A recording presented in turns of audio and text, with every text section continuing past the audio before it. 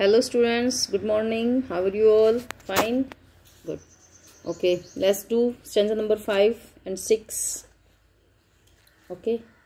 Uh, हम एक Saint की बात कर रहे थे सेंट पीटर की बात कर रहे थे नॉर्थलैंड के अंदर.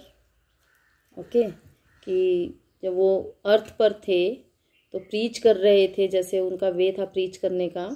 और प्रीचिंग करते करते देखिए उनके साथ क्या एक इंसिडेंट हुआ. He came to the door of a cottage in traveling round the earth, where a little woman was making cakes and baking them on the hearth. कहता है he came to the door of a cottage कहता है वो preach करते करते एक एक cottage एक स्मॉल बंगलो जिसको आप बोल सकते हो कुटिया जिसको आप बोल सकते हो एक कुटिया के घर कुटिया के दरवाजे पर आया धरती पर राउंड लगाते लगाते घूमते फिरते मीन्स जहाँ पर a little woman was making cakes जहाँ पर एक लिटिल वुमन जो है केक बना रही थी and baking them on the hearth और उन्हें भट्टियों पर सेक रही थी बेक कर रही थी and being faint with fasting for the day was almost done कहते for the day was almost done का मीन्स की, कि लगभग दिन खत्म होने वाला था इट मीन्स ये शाम की बात है ठीक है? और फास्टिंग का, क्योंकि उसने सुबह से कुछ नहीं खाया था। जैसे हम फास्ट करते हैं तो मॉर्निंग से कुछ नहीं खाते हैं तो उन्होंने एक्चुअली फास्ट नहीं रखा हुआ था, लेकिन सुबह से उन्होंने कुछ नहीं खाया था। इसीलिए बोला है कि and being faint with fasting कि व्रत की वजह से या कुछ ना खाने की वजह से अभी वो बेहोश ही होने वाले थे, क्योंकि दिन लगभग सारा गुजर गया था। वो एक कुटिया के दरवाजे पर पहुँचे, कुटिया पर, और एक लेडी से बोला for he asked her from her store of cakes to give him a single one.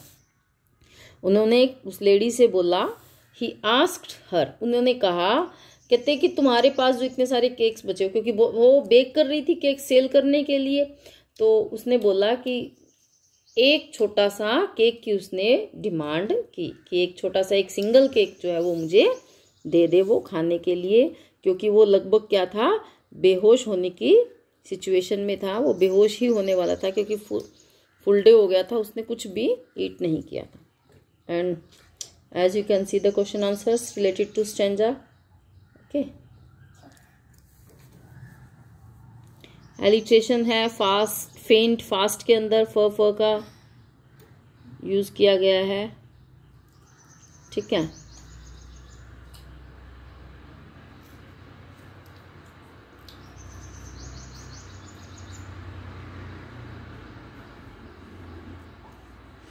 अगर हम राइमिंग स्कीम की बात करें I think you have done the question here you can see cottage cakes earth hearth A B A yes and B fasting नहीं है. Done one cakes अगर इसकी बात करें हम तो A done one B B cakes के साथ कुछ नहीं है तो सी ठीक है? मैंने इसको I take this, these four lines as stanza 5 I took, and these four stanza, these four line, stanza 6 तो उसके according rhyming scheme 5 stanza number 5 बनेगी A B A B and इसकी बनेगी ए बी सी बी क्योंकि done और one rhyme कर रहे हैं दोनों words okay students let's do one more stanza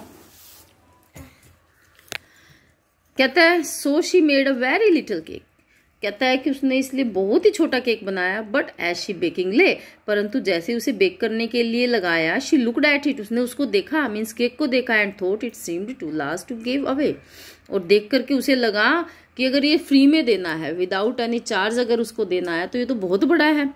ठीक है ना? क्योंकि सेंट था सेंट को जो है free out of without any cost उसने देना था। बिना किस कोई भी एक भी रुपया चार्ज किए उसे देना था। तो उसे लगा कि देने के हिसाब से तो ये बहुत बड़ा बन गया। Therefore she needed another फिर उसने एक और जो है बनाया। एक और मतलब नीडिड uh, मीन्स क्या है? You can see press and stress the dough जो डो होता है ना जिससे वो बनता है उसको और बिल्कुल प्रेस किया स्ट्रेस के साथ स्ट्रेच किया उसको खींचा। And still a smaller one मतलब उससे भी छोटा बनाया but it looked when she turn it over as large as the first one had done पर जैसे ही उसने देखा मतलब उसको पलट के देखा तो उसे लगा कि ये तो पहले जो केक बनाया था ना मैंने देने के लिए, उतना ही बड़ा बन गया। ठीक है? कहने का मतलब वो लेडी जो थी बहुत माइजर थी। शी वॉज़ वेरी माइजर कि it was very hard to part her with the cake ठीक है? बहुत मुश्किल था उसे केक के साथ मतलब केक उसके लिए देना फ्री में। इसीलिए वो केक बना रही थी। छोटे छोटे बनाने की कोशिश में दो केक उसने बनाए, दोनों ही उसे बड़े लगे, ठीक है? These are the question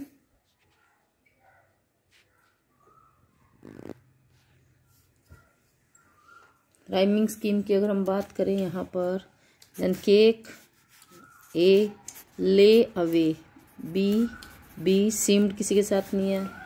सी आ जाएगा. Another one over done another one.